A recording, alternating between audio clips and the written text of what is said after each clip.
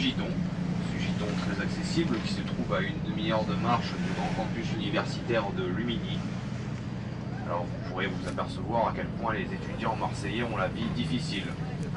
Et Sugiton de son nom provençal Fredjokyu, qui signifie littéralement froid au cul. En effet, on retrouve dans cette calanque des résurgences d'eau froide en provenance de la Sainte-Baume, qui ont pour effet de rafraîchir considérablement l'eau de cette calanque.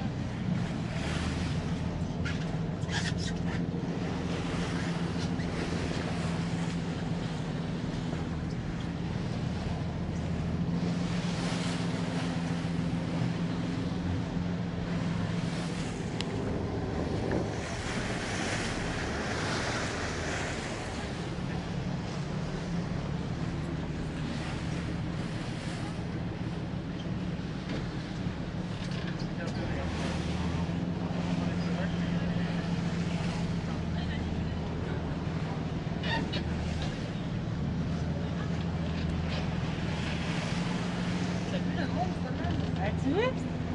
On, on voit l'eau un peu, là, la couleur. oui. Il y a pas mal de monde, là. Ouais, euh, beaucoup plus que je pensais, hein. Ben, s'ils viennent à pied une heure. Ben, c'est pas mal bon. Wow. Et...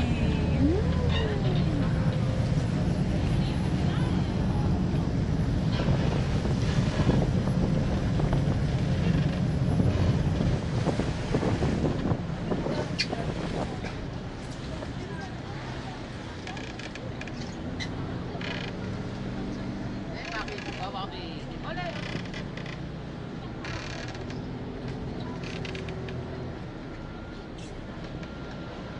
Regarde au milieu, à droite, à gauche, là-bas, là. Regarde au milieu, là.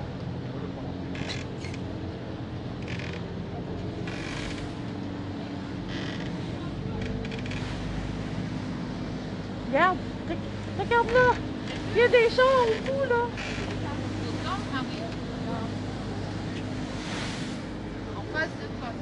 Notre gauche, un petit îlot appelé îlot du Torpilleur.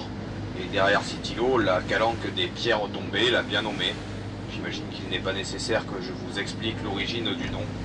Et malgré les risques de chute de pierre toujours d'actualité, elle reste le lieu privilégié des naturistes marseillais. Alors je vous demanderai de ne pas regarder sur votre gauche.